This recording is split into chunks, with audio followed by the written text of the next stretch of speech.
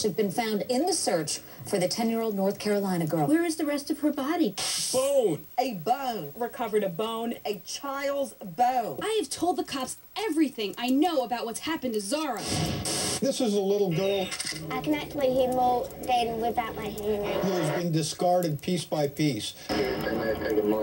They discarded her mattress. DNA evidence on the mattress is now in the lab being tested. They discarded her prosthetic leg. Investigators have discovered a prosthetic leg. What kind of insanity would allow people to just take her leg? And now The discovery of possible human remains. they're getting closer and closer. in hopes that we can come to some kind of conclusion to this investigation and bring peace to Zahra.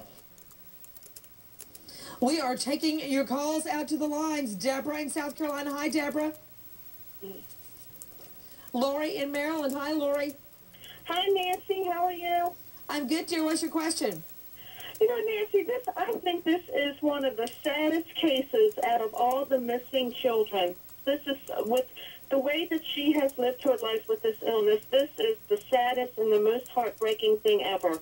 Um, I'm just wondering about the parents. I know that the father's out of jail now and the stepmother's in jail, but what exactly are they saying? What has happened to Zahra? Is the father out trying to look for his daughter, Lori, he has not gone on a single search. The most he has done is put a flyer in his car window, taped it on, that attacks the mother. That's the stepmother. That says something about Zahra was abused her whole life by Elisa Baker. He was in the house. He didn't know where those black eyes were coming from. Liz, show me that shot of her with the black eye. Come on. That is what he has done to help find Zahra. John Miller, do you know of anything else? I mean, when cops say, be at this place at this time, he shows up for that. But other than that, nothing. Well, we do know from talking to the police yesterday, before they stopped talking to the media, that through one of our reporters, Sarah Newell, she has told. He uh, talked she to was told police. that Yes, I know. Baker- he talked to police. Yes. Talked to police and, and is having ongoing conversations with police. And so that wasn't happening last week. So we also found out today that uh, he was down at the police station. and so that means that there is some cooperation going on. We just don't know what's being said. You know, I don't know if it's so much cooperation or they're weaving a web around him. Remember, Casey Anthony talked to police too at their request. What about it, Jean Casarez?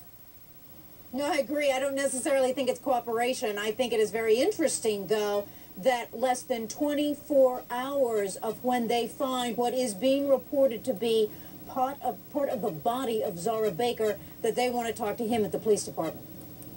Alexis Weed, what can you tell me about the new search? About the new search, Nancy? Yes. Today they were searching on Christie Road that's located about five miles from where the search and excavation took place yesterday. And what's uh, notable to point out about that location today, Nancy, is that investigators previously said that they had finished their investigation at that location. They had tied it up, but they went back there today. They said that perhaps something that they found yesterday led them back to that location.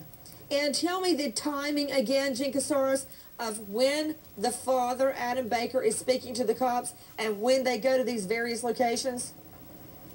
It was today. Your producer, shortly before air, learned that today, this afternoon, Adam Baker was meeting with police and his attorney at the police department in Hickory, and it was yesterday, midday, that this evidence that they believe can be highly significant, reports are part of a body, and it would be a little body, Nancy, a five foot one, 85 pound, 10 year old girl.